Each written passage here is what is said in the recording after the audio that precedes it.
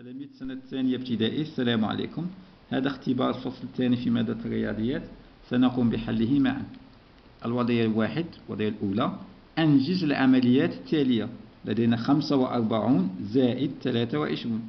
خمسة زائد ثلاثة. الوحدات مع الوحدات. خمسة زائد ثلاثة. خمسة ستة سبعة ثمانية. أحسنتم. نكتب ثمانية. العشرات مع العشرات. أربعة زائد اثنان أربعة خمسة ستة. جيد.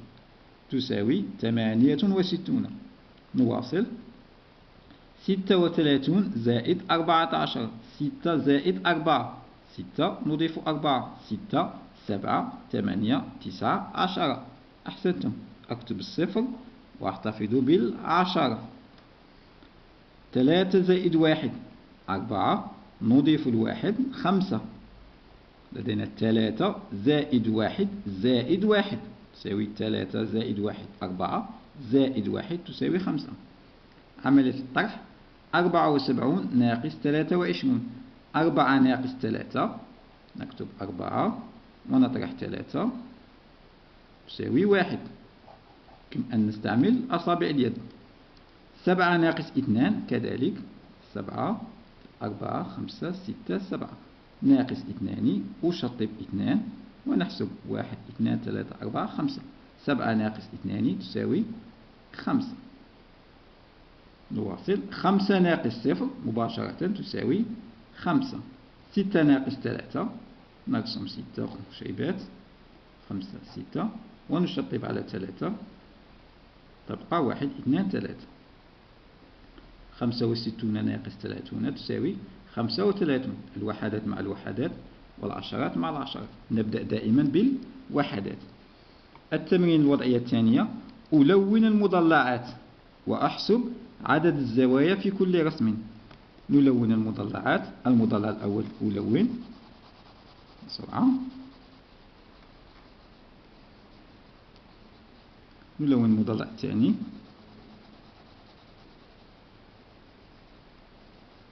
وكذلك المضلع الثالث.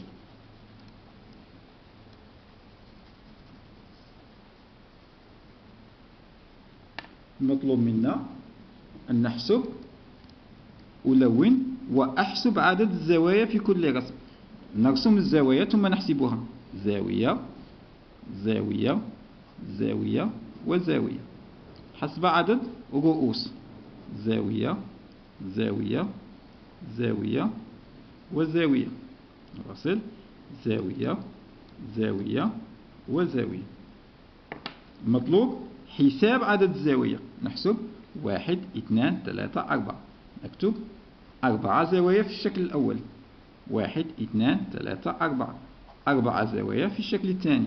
في الشكل الثالث واحد اثنان ثلاثة. ثلاثة زوايا في الشكل الثالث. نواصل. الوضعية الثالثة أرتب الأعداد التالية ترتيبا تصاعديا. تصاعديا معناه من الأصغر إلى الأكبر.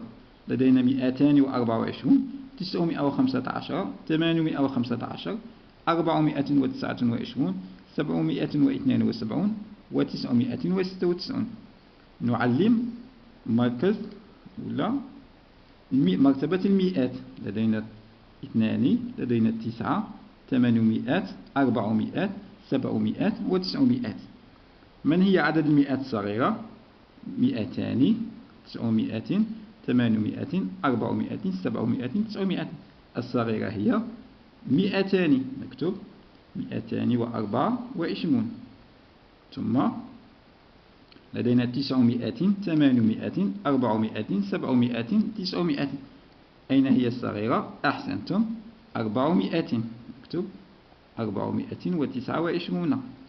بقي لنا 900 800 700 و900 أين هو العدد الصغير؟ هو جيد 700 و72 بقي لنا 900 800 و900 الصغير هو أحسنتم ثمانمائة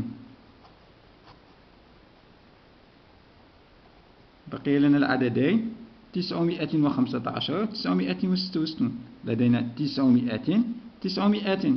ننظر إلى العشرات. لدينا عشرة واحدة وست عشرات. أين هو العدد الصغير؟ أحسنتم تسعمائة وخمسة عشر. وأخيرا تسعمائة وستة وستون. المطلوب من الأصغر إلى الأكبر. دائما نبحث عن عدد المئات الأصغر. نراجع مئتان أربعمائة سبعمائة ثمانمائة تسعمائة لكن عشرة أصغر من ستة أصغر من ستة عشرات تسعمائة وخمسة عشر تسعمائة وستة وستون. ننتقل إلى الوضعية الرابعة. أكمل كما في المثال التالي. مئة وستة وسبعون تساوي مئة زائد سبعون زائد ستة. مئة زائد سبعون زائد ستة. مئتان وأربع وعشرون تساوي مئتان زائد عشرون زائد أربعة. أحسنتم نواصل. عدد الأول مئات مئة ثاني ثمانون وثلاثة. مئة وثلاثة وثمانون. مئتان وأربعة وعشرون. الوضعية الإدماجية اشترى حسام مقلمة بمئة وخمسون دينار وقلما بثلاثون دينار فكم سيدفع للبائع؟ نعيد. اشترى حسام مقلمة بمئة وخمسون دينار. و. معناه وكذلك اشترى قلما بثلاثون دينار؟ معناه اشترى مقلمة وقلم. اشترى اثنان. فكم سيدفع للبائع؟ عمليات. أحسنتم. عملية الجمع. نكتب العملية أفقية مئة وخمسون زائد ثلاثون. نجري عملية عمودية مئة وثلاثون ثلاثون. نبدأ من الوحدات. ثلاثون. ثلا مئة وخمسون عفوا زائد ثلاثون. مئة وخمسون زائد ثلاثون. نجمع صفر زائد صفر تساوي صفر. خمسة زائد ثلاثة خمسة ستة سبعة ثمانية. واحد زائد صفر تساوي واحد. لما نكتب نكتب مئة وخمسون ونبدأ ثلاثون من الوحدات.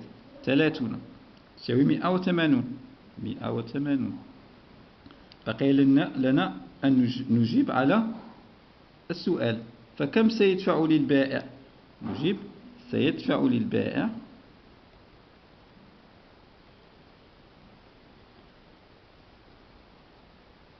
بائع. كم سيدفع البائع مئة وثمانون دينار. نعيد نراجع العمل الوضعية. كان لدى عمر اشترى حسام عفوا اشترى حسام بقلمة بمئة وخمسون دينار وقلما بثلاثون دينار؟ فكم سيدفع للبائع نضع مئة وخمسون دينار زائد ثلاثون دينار تساوي مئة وثمانون دينار. ونجيب على السؤال سيدفع للبائع 180 دينار. وهكذا انتهينا من الاختبار. لا تنسوا الاشتراك في القناة وإلى اختبار قادم إن شاء الله. والسلام عليكم.